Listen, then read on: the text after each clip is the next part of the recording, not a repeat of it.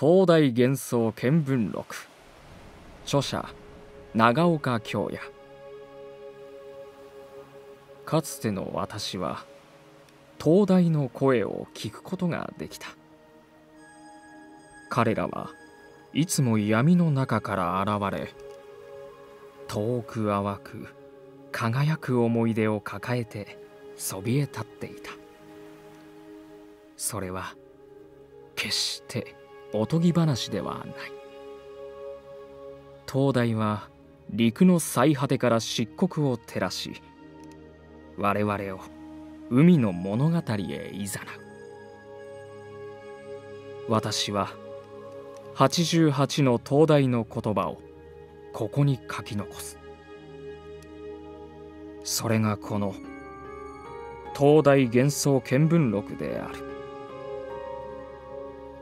失って初めて大切だったと気づくことがあるように人知れず刻まれ続けている記憶がある。彼らにとって私たちにとってそれは何なのだろう。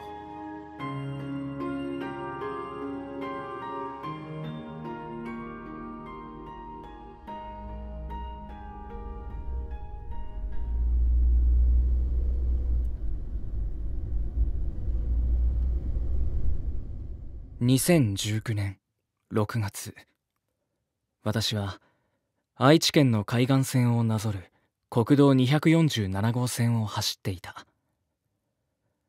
音もなく降りしきる雨の中ふと世界から取り残されたような妙な錯覚に襲われた私はラジオで気を紛らわすことにした。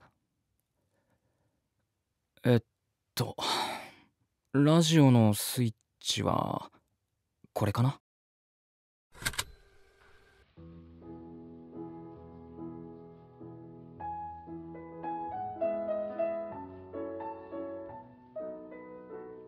操作方法がよくわからずどうやら私はラジオではなくカセットテープのスイッチを押してしまったようだった。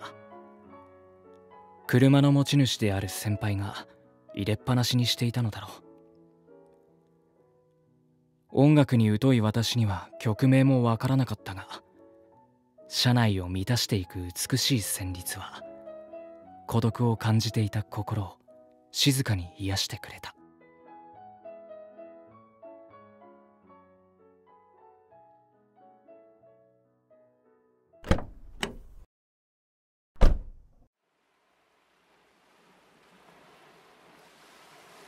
着いたよかった雨が止んでる。開きかけた傘を畳みながら私は伊勢湾を望む砂浜へと歩を進めた。一般的に灯台は断崖絶壁の上など町から離れた場所に立っていることが多い。しかし今回の目的地である野間崎灯台はのどかな砂浜に佇み海とそして人との距離が非常に近い灯台だ。あれ？この音。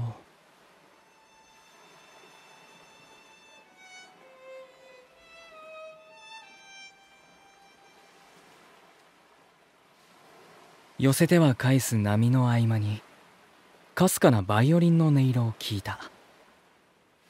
野間崎灯台に違いない。が心地よさそうな演奏を邪魔するのははばかられる。幸いにも夜が明けるまではまだ時間がある。私はじっと待つことを決め砂浜に腰掛けようとかがんだところでなんと声をかけてきたのは彼。野間崎灯台だった。君さては恋をしているね。はい。とぼけても無駄だよ。男が一人夜の海に来る理由なんて恋煩いしかないだろそうとは限らないかと。君は実に運がいいね。なぜって恋のスペシャリストである僕に出会えたんだから。えー、っとあなたは野間崎東大さんですよね。ご名答。さあ遠慮せずに悩みを打ち明けてごらん。東大の声が聞こえる。不思議メガネくん。僕はあなたに会いに来たんです。恋煩いはしていません。ん？僕に会いに？はい。申し遅れましたが僕は長岡京也と言います。ルポライターをしていて今は日本中の東大から話を聞く旅をしているんです。ふん。他でもないこの僕に会いに来てくれるだなんて嬉しいね。いいとも。話し相手になってあげようじゃないか。誰かと言葉を交わすのは久しぶりだし君の活動はなかなか興味深い。ありがとうございます。さっきのバイオリン野間崎東大さんが演奏していたんですよね。ああそうさ。いい曲だろう。愛する女性に捧げた僕の魂さ。へえ。僕音楽には全く疎いんですがバイオリンの音色って心地いいものなんですね。うんうん。センスがいいね。それじゃリクエストにお答えしてもう一曲と言いたいところだけどそれは君の本来の目的ではないだろう？そうですね。もしよければあなたが建てられた当時のお話を聞かせてほしいです。おお君は昔話に興味があるんだね。分かった。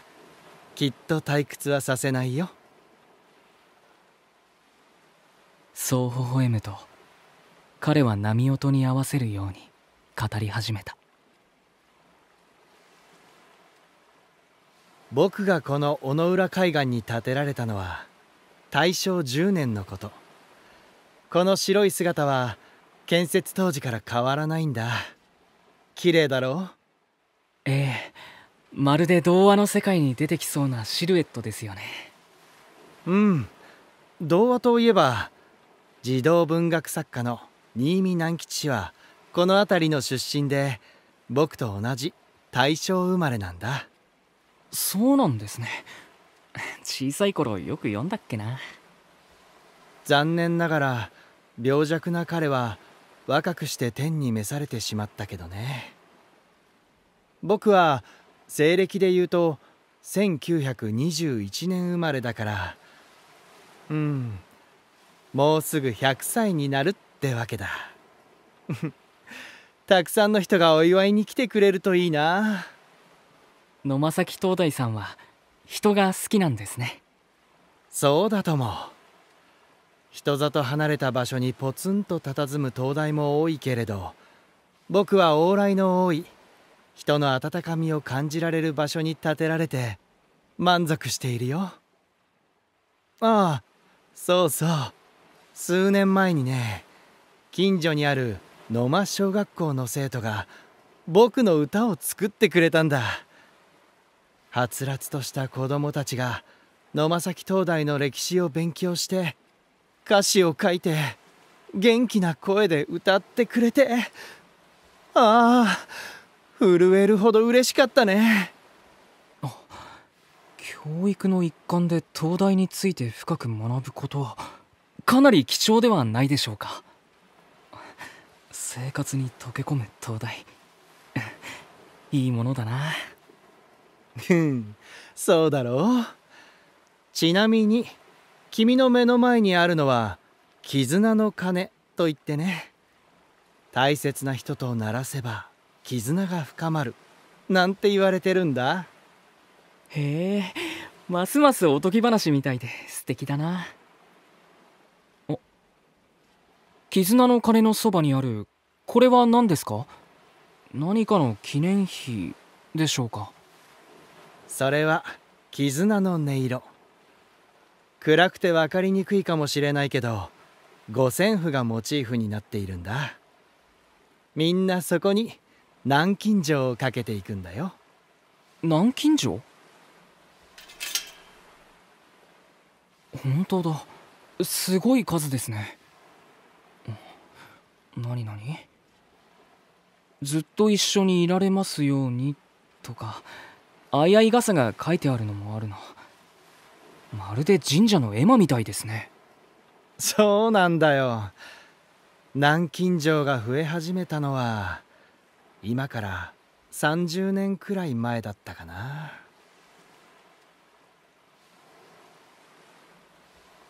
昔はね僕にもパートナーと呼ぶべき灯台森がいたんだ。でも他の灯台たちと同様技術の進歩とともに灯台森は必要とされなくなっていった。ここが無人の灯台となったのは平成元年のことだったかな。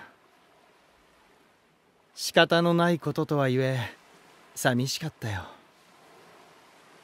孤独と戦いながら粛々と仕事に打ち込む彼らのことを僕は気に入っていたから。せめて慰みになればと毎晩のように音楽を奏でるのが僕の習慣となりそして喜びとなった。それは今日まで続いているわけだけど。はあ。時代が昭和から平成に移ろうとしていた頃僕の演奏を邪魔する者が現れた。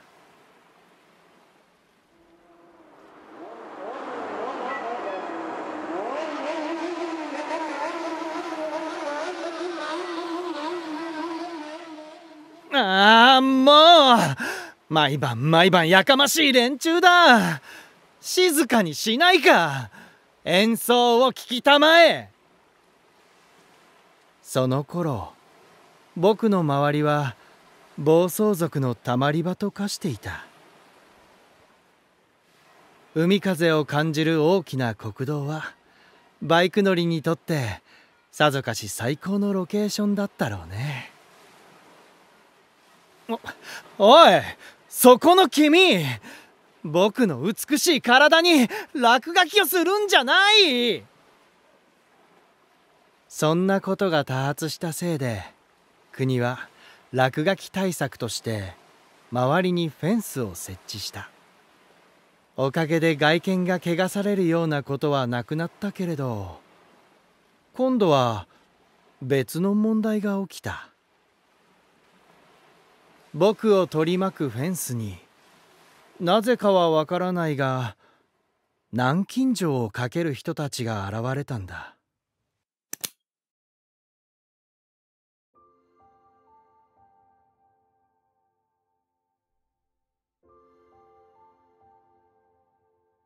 恋人たちが一組また一組とやってきては南京錠に思いを込め永遠の愛を誓っていった。あまりにも南京錠の数が増えすぎて柵が倒壊しそうになったこともあったよ。もうそこまで行くと怒る気も失せてしまってね。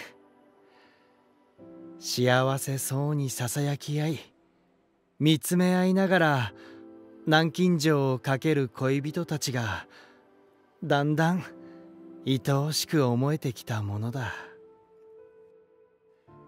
今は絆の音色が設置されたおかげで僕の周りを囲うフェンスは安全が保たれている。恋人たちの愛の重みに耐えるのがその五線譜の役目なのさ。この南京錠の数を見れば野間崎灯台さんを慕う人の多さが分かります。でもどうして恋人たちはこの場所に惹かれるんだろう。そうだね。僕が思うに恋人たちは海に自己投影しているんじゃないかな。自己投影？ああ。海は美しく果てしなく。それでいて予期せぬ大嵐に見舞われることもあるだろう。そういう不確実さを自分たちの未来に重ねているような気がするんだそんな恋人たちを。僕はこれからも海と共に見守っていきたいと思っているよ。そう語る野間崎灯台の声は慈愛に満ちていた。彼の優しくも力強い光が恋人たちの進むべき道を照らしてくれる。そんな風に思わせてくれるような温かい声だった。ここに願いを託す人々の気持ちが少しわかる気がした。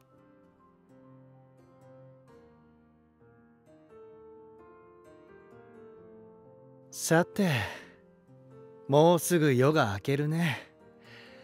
少しは君の役に立てたかな。もちろんです素敵なお話をありがとうございました。もし時間があるならこの近くの恋の水神社に立ち寄ってみるといい。ままた恋ですか？ここは恋人たちに人気の場所だけど恋の水神社は縁結びの神社として有名なんだ。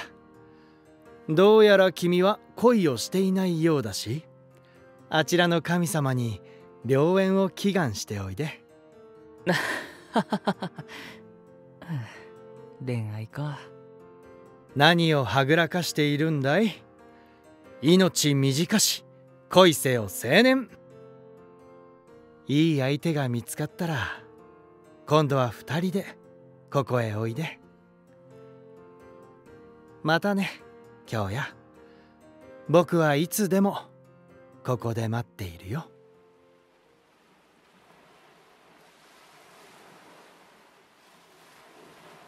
今日もまたこの場所を多くの人が訪れ灯台に思いを託していくのだろう。人々の願いを優しく受け止める白亜の灯台を見上げ私は野間崎灯台を後にした。